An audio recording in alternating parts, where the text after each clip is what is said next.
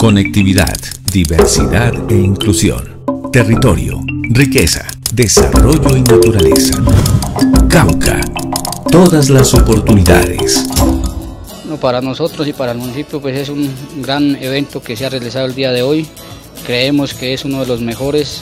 Agradecerle al doctor Temístocles Ortega Narváez por venir a San Sebastián, por venir al corazón hídrico del macizo colombiano, donde le brindamos el agua al país y creemos que el gobernador acá en el municipio de San Sebastián ha hecho muchas obras.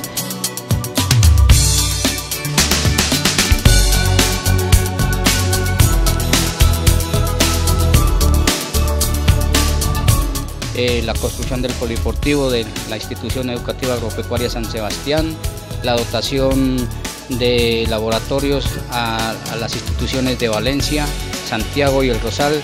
También tenemos un proyecto muy anhelado que creemos que con las palabras de hoy del señor gobernador va a ser un, hecho, la construcción del Hospital Nivel 1 de San Sebastián y el Centro de Salud del Rosal. Estamos muy agradecidos por la visita del señor gobernador.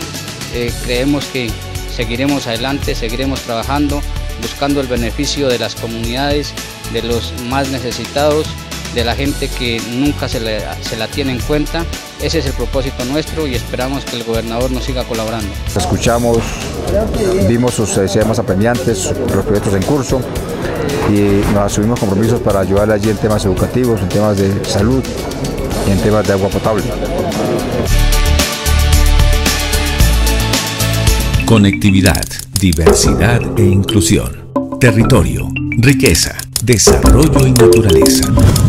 Cauca. Todas las oportunidades.